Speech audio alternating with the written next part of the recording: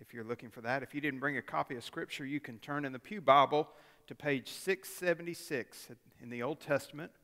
And we're going to look at this passage tonight as we're continuing on on Sunday and Wednesdays, getting ready for our revival here in less than three weeks. We want to be ready, okay? And what this passage talks about, it's the prepared worshiper gives God glory, okay? The prepared worshiper gives God glory. Uh, I want to make sure, um, and I, I want to share this story with you. I had a lady call me the other day, and let me preface this by saying, I asked her if I could share this story, but not her name. And she says, That's totally fine. Okay. If she'd have said no, I wouldn't have shared this. But she called me and she says, Jimmie, I'm, and now this is a very, very active person in our church. Anytime I need anything, I can pick up the phone and call this person, and she will do anything to help our church. And if she sees something that needs to be done, she jumps right in and does it without anybody asking her. And she said, I feel really empty inside. I need to confess to you. And she says, I'm just, I feel like I'm going through the motions right now. And she goes, You know, I'm there at church every chance I can, but I feel like I'm living this lifeless religion right now. I've been a Christian for many years, but it just, something's missing. I'm tired of doing stuff around the church because it just, it doesn't fulfill me like it used to. And she's really having this struggle right now in her life. And she says, What do I need to do? And I said, Let me tell you something. We all go through seasons. Up here, I can do that too. Some of us are better at hiding from others than uh, you really know. But we all go through dry seasons. We don't give up. We keep searching the Lord. We keep staying close to Him because in here, when we come and we worship in the right way, and we push everything out from out there, God will revive us. He does miraculous things in our heart, and He will take somebody who is dead spiritually and He will make them alive. He will re- bring back your joy, restore your salvation, the joy of your salvation. It will happen, but there's periods of times that all of us are going to go through in seasons when we're just not going to feel like worshiping. We're going to feel like it's a real burden to worship and to do our quiet times and things like that. And when we're pushing away from the Lord in those quiet times, that's when we need, the, need it the most because we have gone bone dry. And especially for you, and I, I, I use this sermon tonight because this is the group that does 99% of the work in the church that's sitting in here tonight. So you know this feeling. You know what it is to be giving everything you have and to go dry because you're asked to, to do so many things.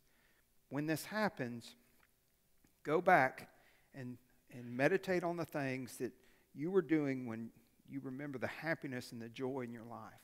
Because somewhere along the line, you've pulled back on some of those things. You've gotten too busy in other areas. Something's replaced something, or you've been hurt. Sometimes we just get hurt when we get hurt, either by others or, you know, by ourselves, things like that. We do something silly, we, push away from God. And that's why we go dry. He's the source, He's the living water.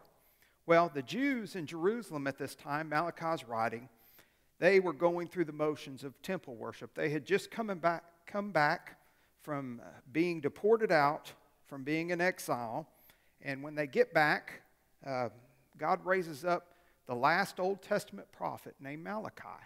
Now, let me tell you how important this message is in the book of Malachi. It's just three chapters. You can read through it pretty quick. But it's so important that after God speaks to Israel, there's 400 years of silence till John the Baptist. So, what was God so upset with the Israelites? And we're just like them. if we were in the garden, we'd have picked the fruit. If we were in the wilderness, we would have disobeyed. We'd have been out there with the golden calf. There's nothing that happened in those times that we wouldn't have been doing. We got ancestors, they were doing it, we would have done it, okay? Those things still come into play. But the Jews, as they come back, I'm sure some of them thought that God had forsaken them because they went into exile. And they come back and, and they're just, yeah, they've got the temple rebuilt. They're going through the sacrifices and things like that, but their hearts aren't in it. And sometimes when we come in this, this place, our hearts are far away from the Lord, to be truthful. We sit in here and we're just kind of in a blank stare. This morning it was good to see God using that music just to stir hearts. You know, we got to do something different from time to time. And I love what Jamie said before the service. He goes, That wasn't a conf- uh, concert, that was a worship service, is what they did this hope this morning. So I hope you enjoyed that. But this man Malachi, God's last prophet of the Old Testament, he's a little mysterious. His name means my messenger.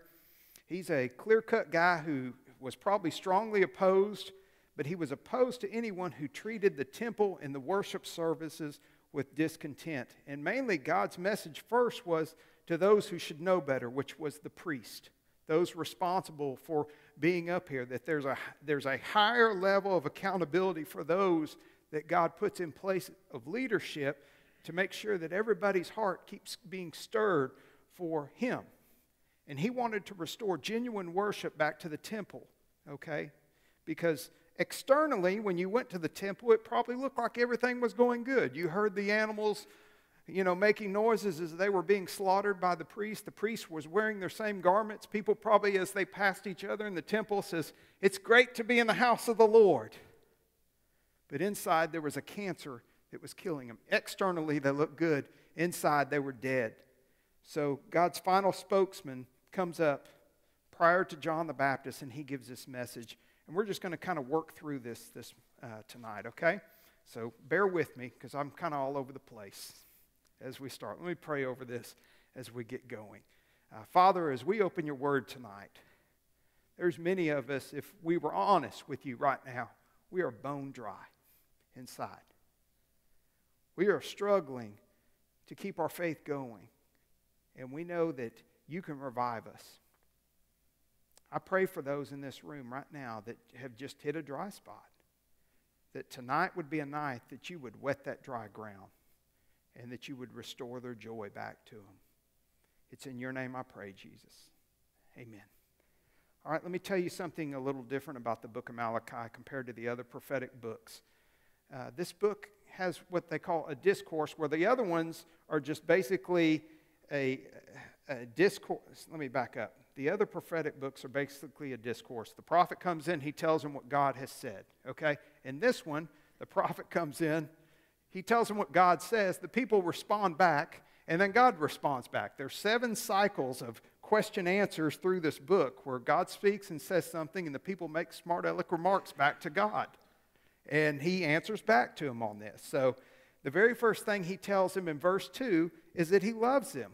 He says, I have loved you, says the Lord, but you say, How have you loved us? Was not Esau Jacob's brother, declares the Lord?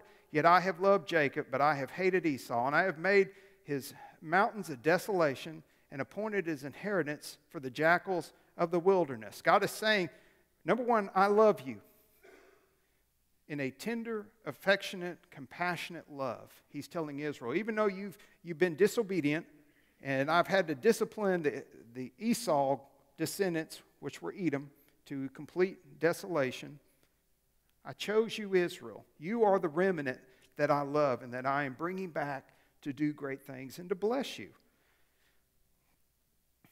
Do you sense right now, not the church Sunday school answer, but do you have peace in your heart right now knowing God loves you? Unwavering knowledge. You need to have that nailed down. He loves you so much. He doesn't want you to go through things and not feel that He's not there for you, because He is. We're not promised rose gardens, but we are promised that He will always be with us. God, chapter 1 here, God tells the people there what he wants from them. He gives them an antidote for going through the motions of worship here. And this is what God expects. The very first thing is he expects the greatest reverence we can give him. Okay? Now, that's not outwardly, that's inwardly. Right here from your heart. Let's look at verse 6 and see what it says here. He says, talking about the sin of the priest, he says, A son honors his father and a servant his master. Then if I am a father, where is my honor? And if I am a master, where is my respect? Says the Lord of hosts. To you, O priest, who despise my name, but you say, How have we despised your name? All right, let's start with that little word in verse 6 honor. What does it mean to honor somebody? This is a beautiful Hebrew word. And what it means it literally means to be heavy, So when you're honoring somebody, they're a heavy weight in your life, okay? They're important in your life. They're above others. And you throw weight towards them, which means you throw importance their way. You know, in the Ten Commandments, he says, honor your father and mother. That doesn't mean just obey and respect them, it means to act that they're truly significant in your life. That's what that word honor means. So he says, when you come to worship me, whether it's in your prayer closet, in your car, on your porch, under the shade tree, or when you come in here, he says, I want honor. I want you to throw weight at me. I want you to give me all of this, not partial. I want it all. I want your sincere heart. I want reverence. You know how to be reverent towards God, don't you? We forget sometimes whose church this is. It's His. Okay? And we come in here and we, we act like it's our house, and, and if we don't like the things the way they're going, then we get upset and we want to do this. But we forget it's His house. So we come in here with reverence, not wanting to offend Him.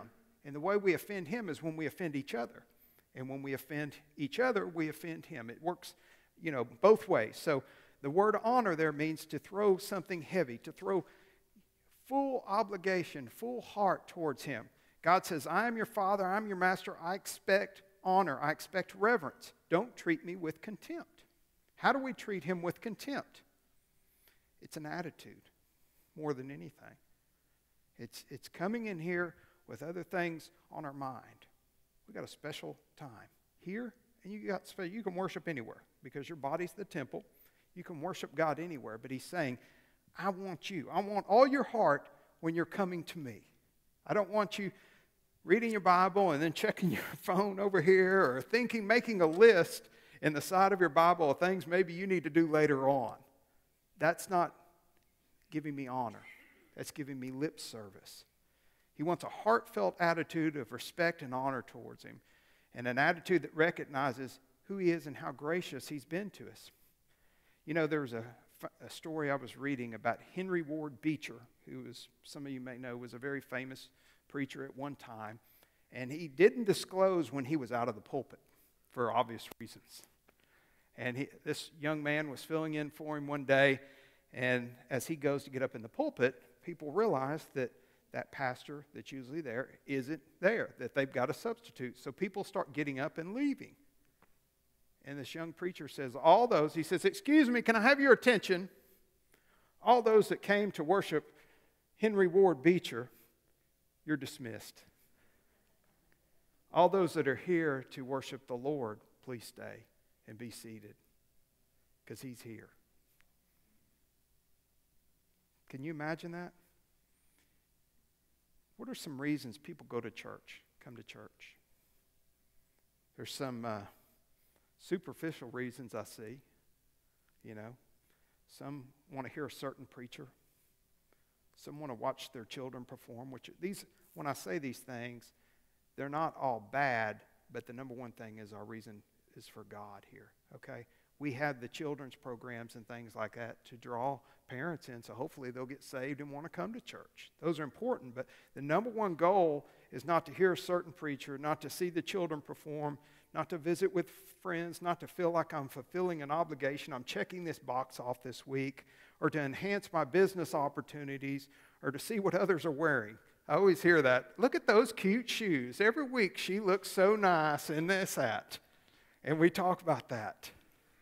I just can't, in this one, she's so sweet. She goes, I just can't wait to see her every week. She just dresses so neat. That's almost sounded like the reason she comes to church to check out this girl's clothing to see what she's going to wear. The only acceptable reason is to come in here and give God glory and honor. Okay?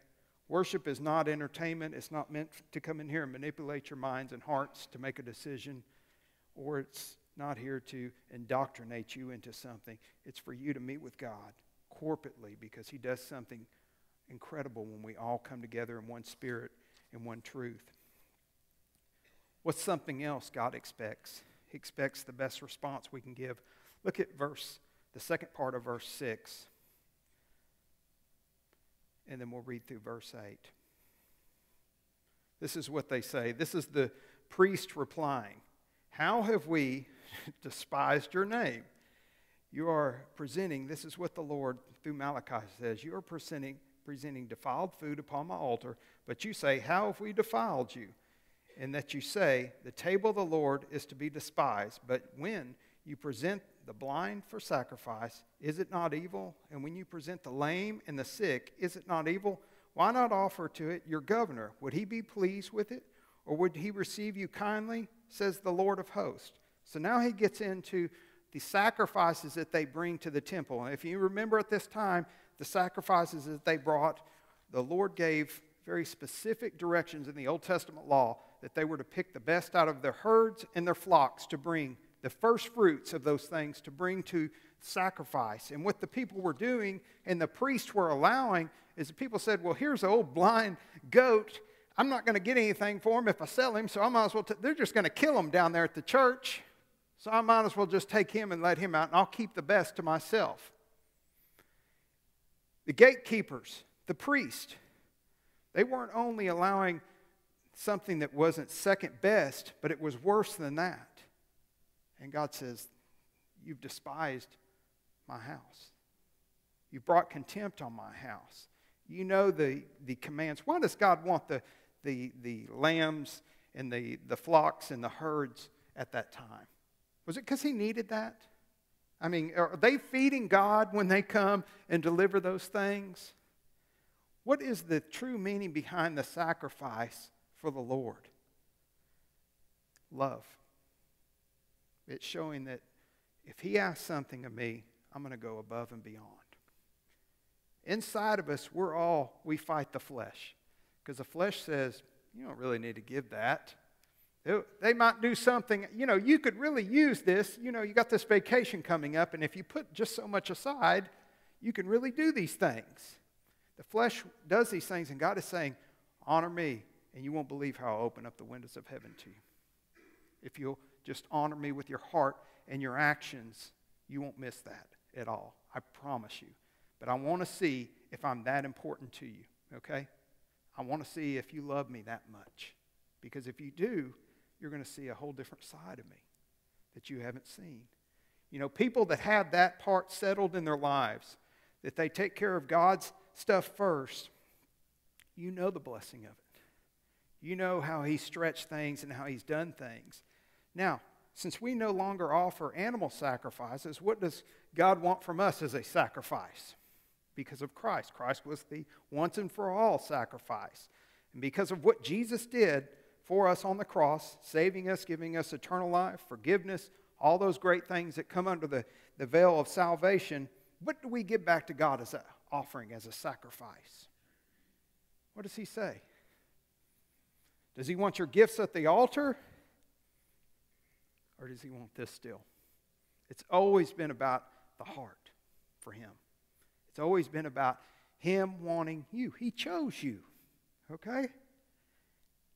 You don't take somebody to the dance. I hope you never have done this, taking somebody to a dance prior to becoming a Baptist because we can't dance.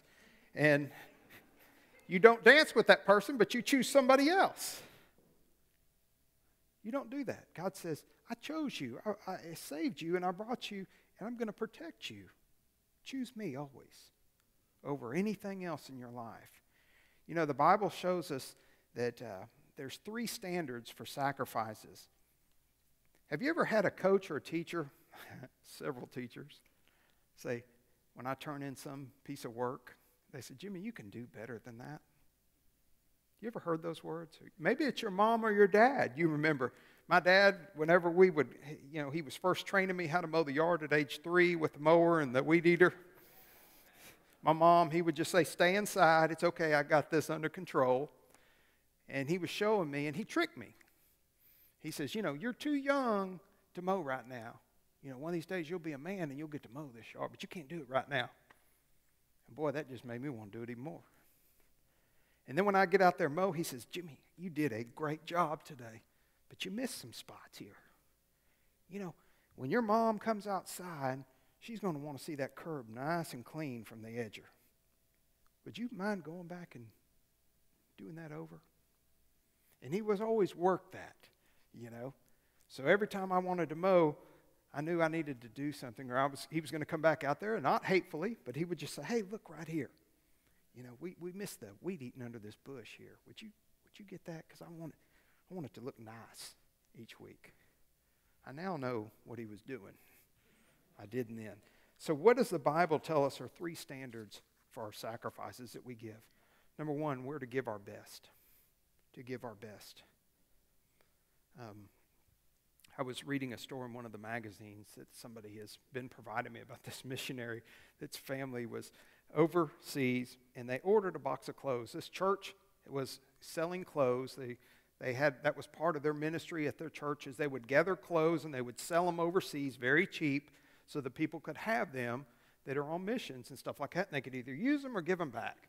And he wanted to help this church. The church was going to help him. And he says, my parents and me ordered this great shipment. It says it was $100 of clothes. And he says, when we open up the box, all the zippers are gone on the pants and all the buttons are gone on the shirt. They'd taken all those off. And they'd sent those clothes to him. And he says, you know, we, we looked at the box. we said, this shipment is worthless. It's absolutely worthless. How often does God feel that same way about us?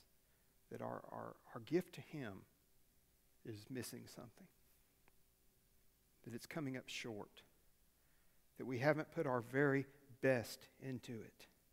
The second aspect of giving is to give God first. To give God first.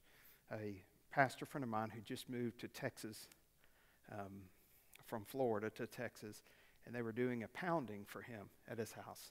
And if you or don't understand what a pounding is, it's the church provides some groceries and things like that, toilet paper, all that stuff. And in the parsonage, they had put some furniture for them. They said, "We got we got some furniture we want to give you, and we're, we're going to set this place up, and we're going to fill the refrigerator up, and we're going to fill the freezer up, and we're going to fill the pantry up with canned goods. You're going to be set for six months."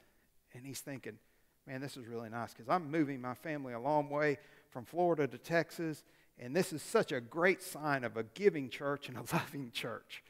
And he says he goes in there, and the TV in the, in the corner over there is one in a wood box. Now, we know those TVs, how old they are. It's got rabbit ears sitting up on top. The couch has got a couple of holes in them. He says he goes to the refrigerator and he's looking at things and he's thinking, this is really awesome because the whole refrigerator's packed, everything else, and the pantry's just packed. And as they start going through things, he said over half the produce was old. He says the canned goods had rust on them, that people had just basically cleaned out their pantries to take it to the house. He said a lot of the expiration dates were way past, years past. And he says, but the majority of the stuff, he says, was really good and really nice. So he goes, I, I had me and my wife sitting there on the floor and we're thinking, what did we just move to? What's, what's wrong with these Texans?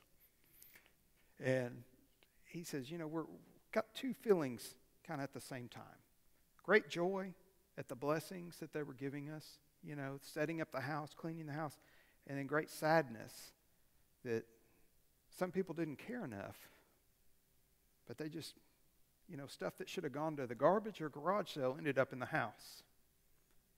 And he says, I was sitting here thinking, what kind of church is this? What kind of worship are they going to give God when that's what they give man? Are they going to give God their best, or are they always going to be giving leftovers to Him? The third aspect of giving is you've got to give what costs you. Okay?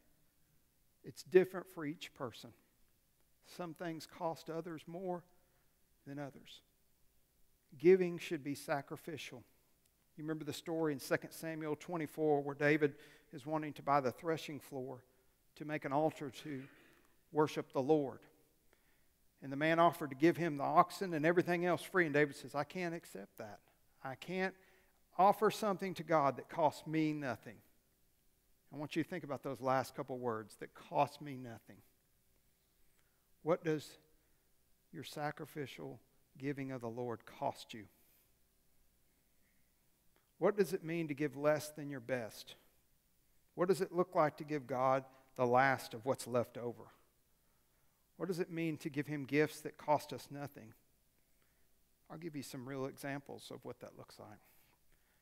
I'll wake up in the morning knowing it's time for devotion time, but Sportsman's Guide has sent me 30 emails overnight, and they're having all kinds of sales. And now Big Sky Tool that Mark told me about, and all these other little neat websites, these ammo websites and everything else have sent me all these emails. And, you know, I can do the devotion in a minute, but I end up spending an hour and a half going through all these emails looking at all the deals. And then I flip over to my Bible app and I run through it in about five minutes and I walk out the door because I'm busy.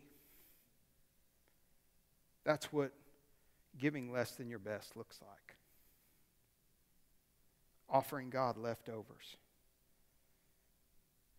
when our best energy and our talents and our best motivation go to something other than His kingdom. That's what it looks like when you give Him leftovers.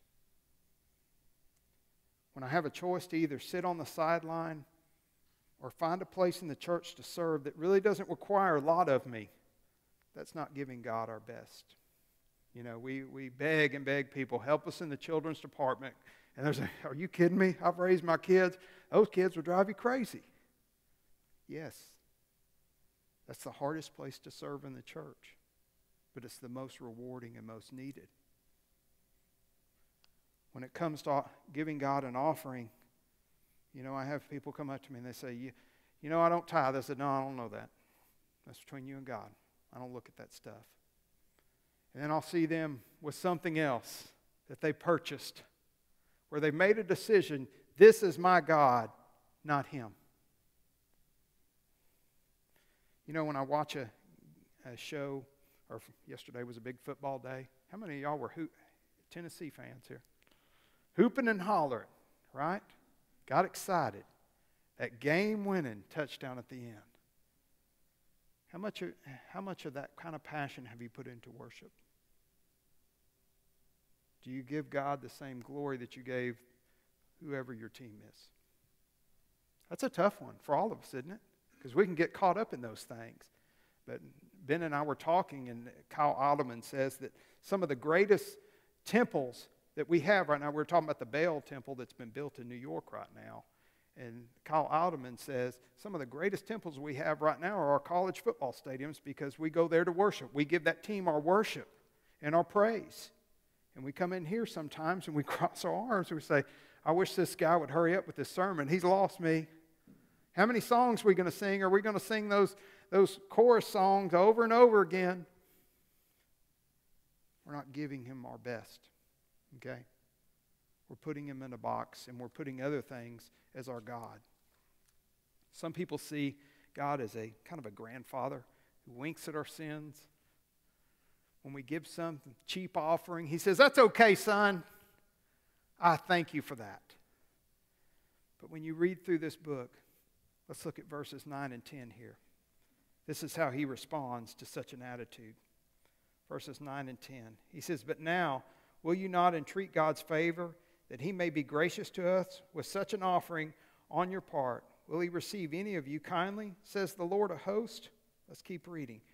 Oh, that um, there were one among you who would shut the gates, that you might not uh, usefully kindle the fire of my altar. I am not pleased with you, says the Lord of hosts, nor will I accept the offering from you. There's a very distinct message about treating God like a buddy without reverence. He says, Would somebody shut the doors and blow out the fire? I hope he never says that about us as a church on Sunday. Jimmie, you and everybody else just leave because this ain't giving me any glory today. Everybody's come in here with their own agenda, own thing, something else on their mind. Y'all just shut the door and go home. I'm not there. We need to give him the highest regard. He talks about his name. I want you to see how many times he says my name in verses 11 and 14. Let's read those. He says, For from the rising of the sun even to the setting, my name will be great among the nations, and in every place incense going to be offered to my name, and a grain offering that is pure for my name will be great among the nations, says the Lord of hosts. Now skip down to verse 14. He says, But cursed be the swindler who has a male in the flock and vows it, but sacrifices a blemished animal to the Lord. For I am a great king, says the Lord of hosts, and my name is to be feared among the nations. What's the purpose of my name? When God says, Moses, you go tell him I am, said, He's talking now. He's the one telling them. That embodies all he is his character, his person, his very nature. And when he says, My name, that's exactly what he's talking about. He says, His person, his character, his very nature. Why will his name be great?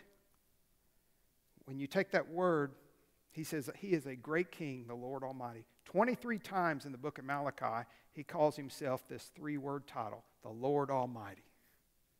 Translated some as the host, the Lord of hosts. You know what that means? What he's saying is, I have the whole army of heaven ready to do my work because of who I am. All of heaven will succumb and do exactly as I ask. The warmest response here how tiresome it is, verse 13. The Jewish people became bored in their worship. And this is their answer to him how tiresome it's become.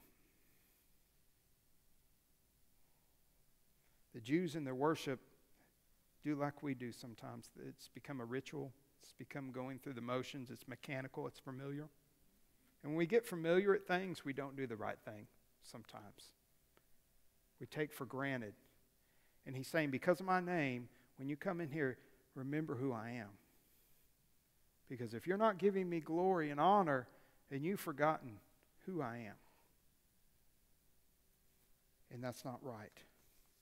And I close with this.